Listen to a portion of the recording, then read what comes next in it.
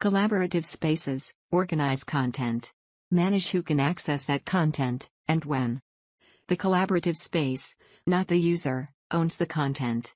In a collaborative space, all users work as a single team. Members of a collaborative space, with the same role, have the same rights.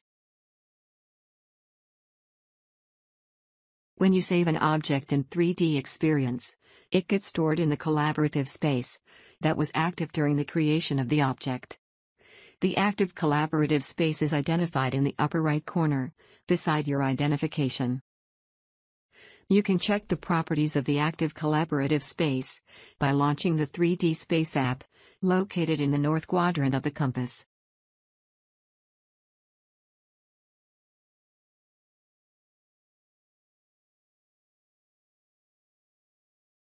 After navigating to the collaborative space, double-click on it, and from the drop-down select, Edit.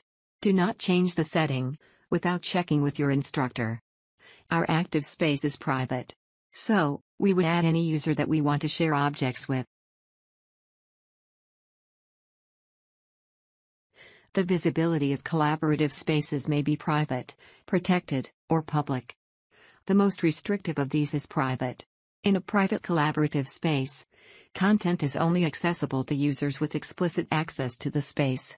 In a protected collaborative space, content in the maturity states of private, in work, or frozen is protected. A public space provides the most access to content. The visibility of a collaborative space may be made less protective. You can change a private space to protected, or you can change a protected space to public. You cannot make a collaborative space more restrictive. You cannot make a public space protected or private, and you cannot make a protected space private.